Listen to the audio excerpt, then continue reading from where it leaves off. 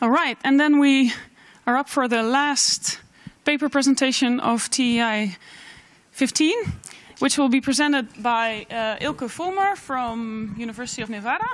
And he will be presenting immersive simulation of visual impairments using a wearable see-through display. Thank you. Uh, thanks for pronouncing my name correctly. That doesn't happen a lot. Uh, so I'm here um, to present the work I did with my master's students, uh, and Alexander, who unfortunately couldn't be here today.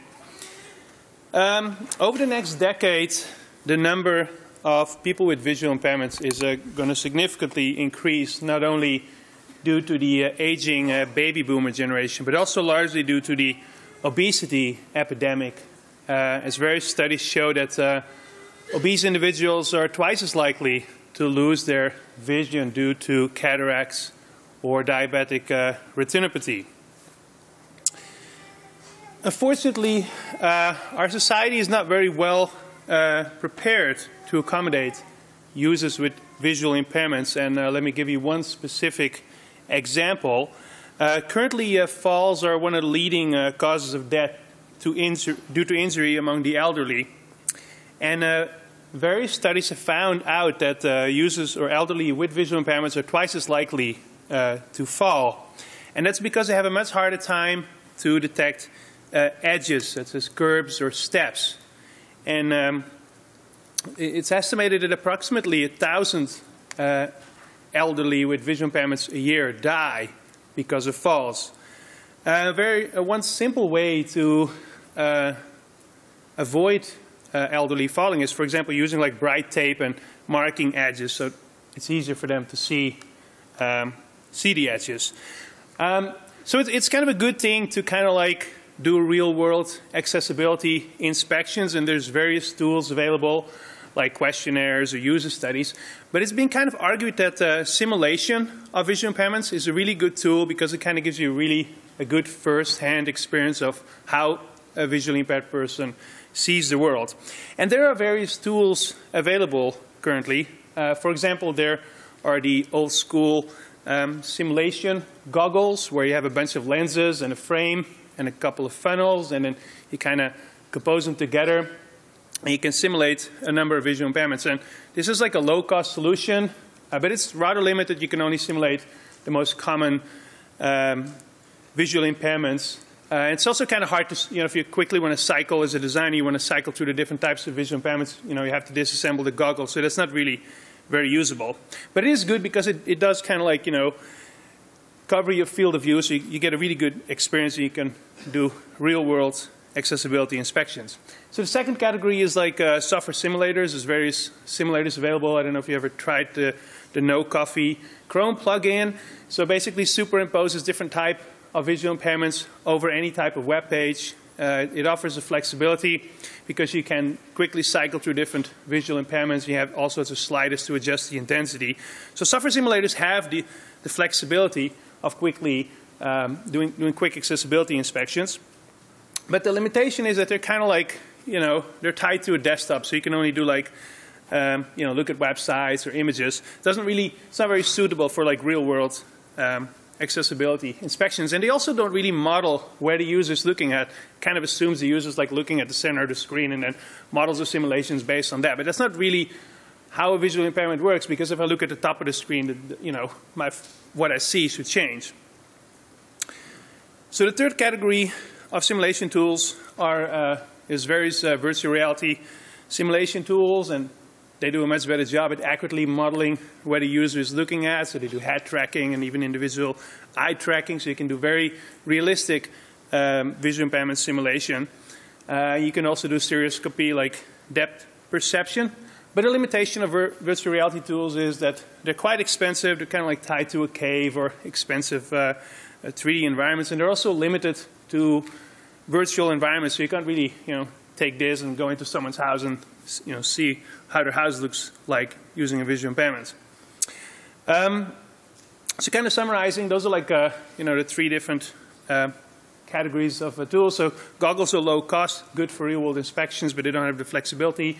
Software simulators have the flexibility, but they don't aren't very accurate, can't be used for real world uh, accessibility inspections, and then virtual reality tools uh, are accurate, but they have a high cost and uh, can't be used for real-world inspection. So we set out to come up with a new tool we call SIMVIZ, basically kind of an amalgamation of the three different techniques, kind of like taking all the benefits of the techniques and having no, uh, none of the disadvantages. So how does it work? So we created uh, what we call kind of like a wearable see-through display.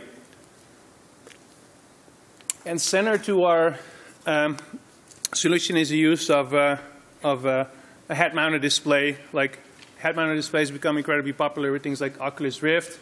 So they become low cost. It's a wearable display, very immersive, large field of view. And then what we do is basically mount a camera in front of the HMD and basically you know, get the camera feed, feed it back into the HMD. So you can basically see the real world through uh, a head-mounted display. And then we apply different types of filters on top of, um, of the camera feed so we can simulate uh, different types of visual impairments. So um, we built our solution using the popular Oculus Rift. I don't know if you ever had a chance to try it. It's, it's, it's pretty awesome.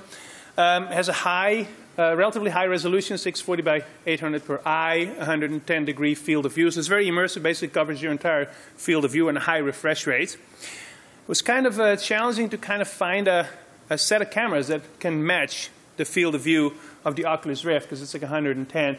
But we found a solution. Actually, we use a PlayStation 4 camera as a dual sensor uh, setup with two HD uh, cameras, and the the field of view of these cameras actually, if you combine them, matches the, the field of view of the Oculus Rift, and it also has the same refresh rate. The only hard thing was that Sony had their own proprietary connector, so we had to kind of cut it up and reverse engineer and kind of turn it into a USB 3 connection, what it actually uh, is. To make this work, uh, we use VR Player, an open source uh, renderer that can do the barrel distortion uh, rendering required for the Oculus Rift, and then uh, VR Player has support for uh, high-level shader language uh, filters. So we basically implement the different filters using DirectX. So this is how it looks like. So we basically just glued the camera on top of the Oculus Rift. Um, it doesn't come with a free beard. You have to grow that yourself. Um, and the solution is kind of semi-portable. You can just hook it up to a laptop. The only thing, if you want to do real-world accessibility inspection, you do have to kind of uh, be close to a, a, a power socket because the Oculus Rift requires power.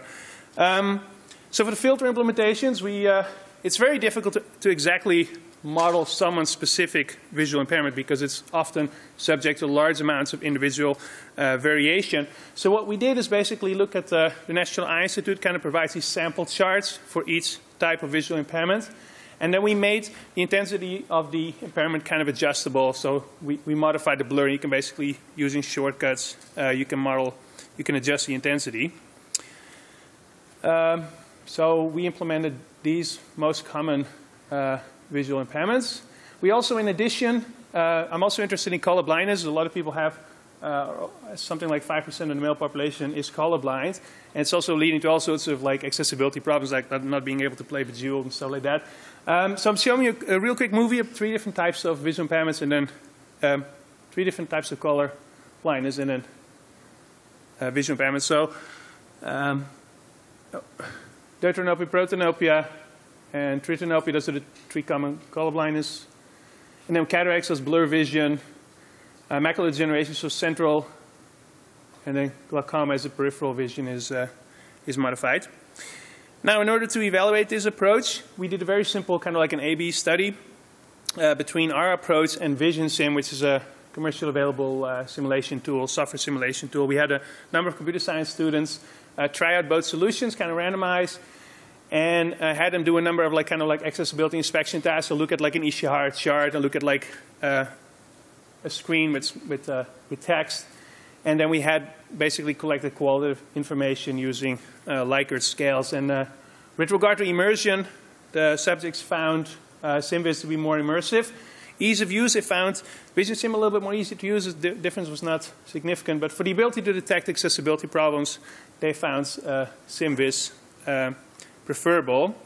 Some of the current limitations, uh, again, like I said before, the simulations are kind of approximations. It's very difficult to uh, exactly model someone's um, impairment, but by being able to kind of like adjust the intensity, you do give designers a good idea uh, of the range of, of, visual impairments.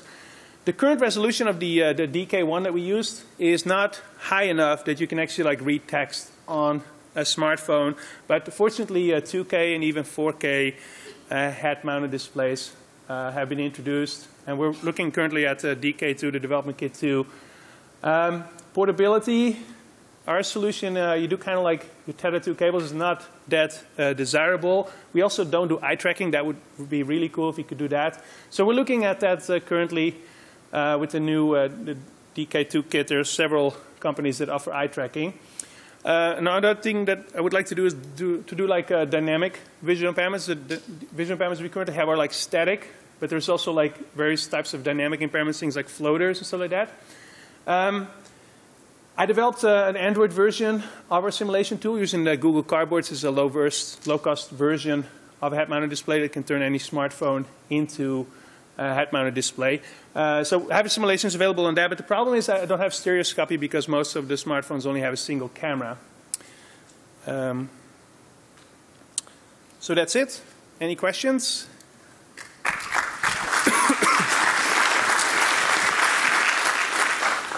Thank you. Are there any questions from the audience? Hi, Daniel Ashbrook from the Rochester Institute of Technology. Uh, I'm curious if you had any effects from um, what I'm assuming is that the PlayStation 4 camera does not mimic the interpupillary distance of the human eye or the field of view of the human eye, and I'm wondering. That's, yeah, that's that correct. So that's something we had to kind of work around, and you know, because every every one of those cameras gives you a stream of thousand. Uh, I forgot what the resolution is, but we had to modify it, and indeed, it's not the exact interpupillary distance, but it's. Uh, yeah, we, we kind of subsample a little bit and try to, you know, take one part of this of the of the field of view, but that's something we should uh, we should work on. And, and um, for the for the high res for the high definition uh, headsets, we do need to use different cameras that are, have a much higher resolution, and then we can probably uh, approximate interpupillary distance. But yeah, that's this is the closest solutions that we, we, we could we could figure out. There are some uh, existing um, video see-through headsets in the uh, augmented reality community. You might want to look into. I think yeah. Vuzix makes some. Okay. Yeah, I'll, I'll take, check them out. Thank you. All right. Then maybe I can ask a question because sure. I was wondering you you did your tests now with a smartphone application, which is kind of a small.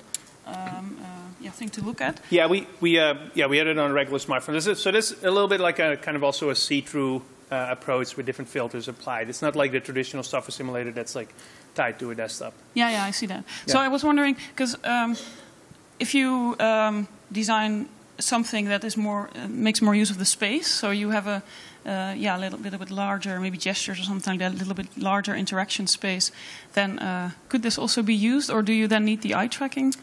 Um, eye tracking would be good. I don't know. Eye tracking would be more accurate, but I, I, in one way, the lenses are so close to your to your eyes already that even, I don't know. I, I, I couldn't really figure out if eye tracking would actually be better. Ah. But I've seen like the virtual reality solutions they use. They do use eye tracking, but uh, I think just you know what you're saying in a larger space. So we had students basically hold a smartphone and then you know inspect the world, and it's kind of hard. But if you actually have it on your face and it's you know it's, it's really it covers your entire field of view. That you know I, I feel that's a, a better a better approach and you know gives yeah. you better. And also it's like hands free. You don't have to hold the phone in your hand. Yeah. So. Um, All right. Because I was wondering, and maybe this is a little bit further in the future, but obviously people with visual disimpairments, uh, it's not just the fact that they have visual dis disimpairments, but also they perceive the world much more through the other senses. So yeah. could you elaborate yeah, that's kind of interesting, and uh, I think that's like an interesting uh, direction to move. And I've also heard about like there's also a hearing impairment simulator. So I can imagine that you know you have a whole set of different types of uh, you know kind of a sensory deprivation kind of approach. So um, yeah, I, I think that could be interesting, uh, interesting to explore. Another thing, um, I didn't mention it, but it, uh, it also has benefit. I, I, know there's a Canadian company that does stuff with some sort of immersive see-through display where they can, specifically for people with vision impairments, where they can basically like zoom in on something and then have it like close by and they can freeze frame and stuff like that. So that's kind of an, uh, yeah, an, an, interesting other type of application for HMDs for specifically for people with vision impairments. All right. Any more questions? No, then I would like to thank Eelke and also all the other speakers of this session.